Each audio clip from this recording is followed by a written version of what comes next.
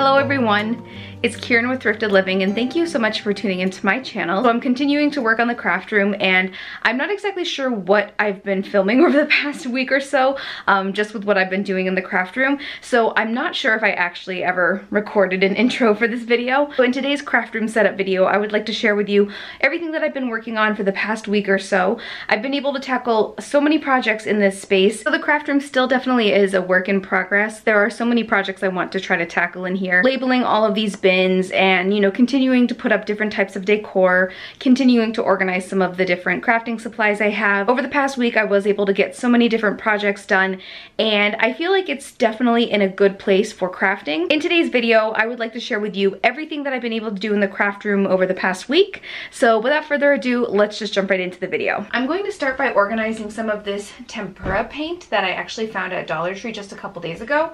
And as you can see, I'll sort of line up all the different colors. Some of these are glittery, so we have a purple glitter, a pink, this is a pink glitter, just a plain white, black, then red, and orange, purple, just a plain purple, no glitter, and then we have like a gold glitter and a silver glitter. I kind of like lighting this up, it's kind of fun. Oh, there's a little hole right here in the dust so I won't be able to go any further over. And then a light blue as well. So I thought that these would be great for some different DIYs. I really love that they have so many different vibrant colors. I think I got them all. I'm not 100% sure. But I had shared in a recent video that I want to get more into painting. And to organize all of the paint, I'm going to be using this K-cup holder. I had used this before to organize K-cups and I actually have one of these already that I found at the thrift store that I use for, um, I think they're more like acrylic paints.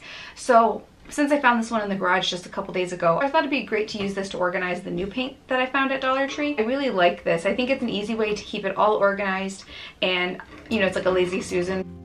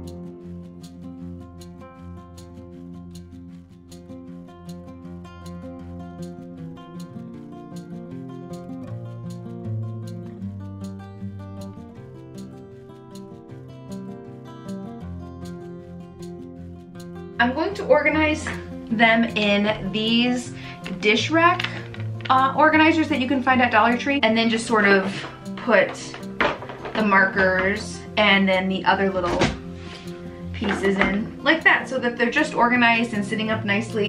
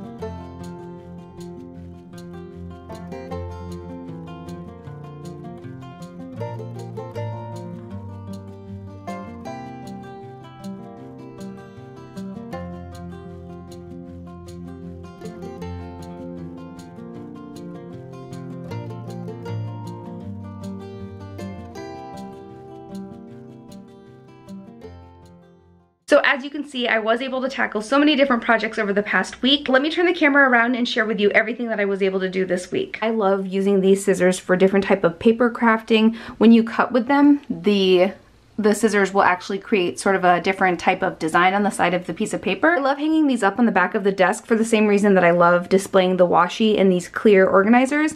I like the idea of having the stuff that you're working with, the different crafting supply or the different material, sort of also work as decoration and sort of, you know, make the space look exciting and vibrant. Just love that I can lay all of these out in a rainbow pattern and I just think it's so pretty. I love the contrast of the rainbow handle against the wallpaper. This is actually, on the back of the desk, it's actually a type of wallpaper from Roommates Decor. I will make sure to leave information down below if you guys would like to check them out. I found this peel and stick wallpaper at Walmart, but it's the Roommates Decor brand. So I really love how this looks. I think it's so pretty. It just makes me excited for crafting and it's nice to be able to see all of your supplies sort of sitting out and I just think it's so pretty and of course I had to add some trolls over here. I found these trolls at a garage sale, I think. And then my dad actually gave this to me. It says, a teacher takes a hand, opens a mind, and touches a heart. And I just think that's really sweet. And my dad actually dropped this off to me about a month ago, and I've been looking for the perfect spot for it. And then the thing that the scissors are hanging off of is actually something that I found at Dollar Tree. So then I was able to get all of the bins that I will need for this space. As I said in a previous video, I really wanted to try to make sure that I was able to have enough bins to be able to fill up this whole bookshelf. So I was very happy that I was able to do that. I've been working to try to organize all of the craft supplies that I have. I think I have some more boxes of craft supplies upstairs in the attic that I need to go through. Then I was able to organize some of my painting supplies. In my last craft room, I had organized some of my painting supplies in this K-Cup organizer. And I think I found this at a garage sale or maybe I found it at a thrift store. I love being able to organize all of the different types of paint that I had. But then just a couple days ago, I found some of this tempera paint at Dollar Tree and I was able to pick up so many different colors. And then I actually found this other K-cup organizer in my garage when I was cleaning out my garage and I thought it just worked so perfectly to organize all of these. And then I just have a, a, couple mason jars right here and then actually a vase in the back. I'm just not exactly sure what I'm gonna do with that vase yet. I plan on just putting paint brushes in those right there. And then on this second shelf, I was able to go through and actually organize a lot of the smaller pieces that I had. I think in the last video I shared with you that I went through and organized a lot of the smaller pieces that I craft with, like sequins and beads, and I was able to actually go through and organize them in these Dollar Tree organizers. They have several different sizes.